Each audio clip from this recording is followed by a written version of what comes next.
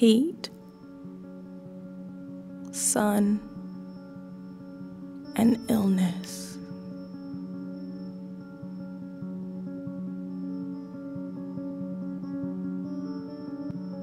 All I see is bodies roaming the savannah in search of food, shelter, and survival.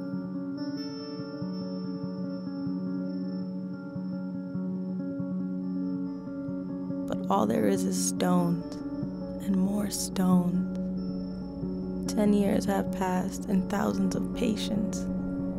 Ten, fifteen, or thirty expeditions. I've lost count. The countless wounded and disabled resemble beasts, deathly African pathologies. Hours and hours of work in the operating room, mutual suffering, both alien and heartfelt, fill the harsh, rocky, and inhospitable plains. Sand, red, covered in blood thick, sweet, and red. And there it was, amidst a gazillion pages in the dictionary. The big, bold T of trauma. Trauma. A lasting injury from a generally external mechanical agent. Emotional shock that causes lasting damage to the unconscious. Negative emotion, strong and lasting impression. Now I have discovered a new synonym, one that defines the emotions I continuously feel when I look into my Nikon journal. Club feet, deformed, twisted, and burned mutated arms, rotting legs, and exposed bone. Putrid air fills my lungs. Exposed membranes, exploding tumors, cleft lips. Everyone, everywhere, crippled and maimed. Whole regiments.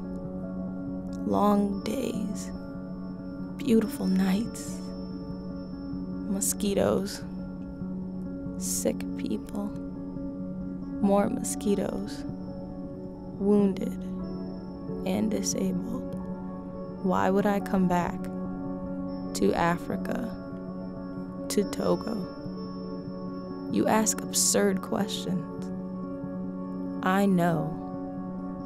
You know and He knows.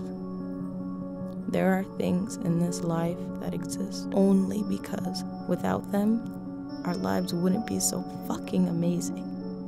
Live your life and live it well, limitless, without regrets, as our beloved Africa, the real Africa, the one that hurts your throat as you try to swallow, the one made of pain friendship, solidarity, and grief. The Oasis, Africa. Six letters, one after another. Ten years, one after another. Tick tock, tick tock. Time flies. Life goes on.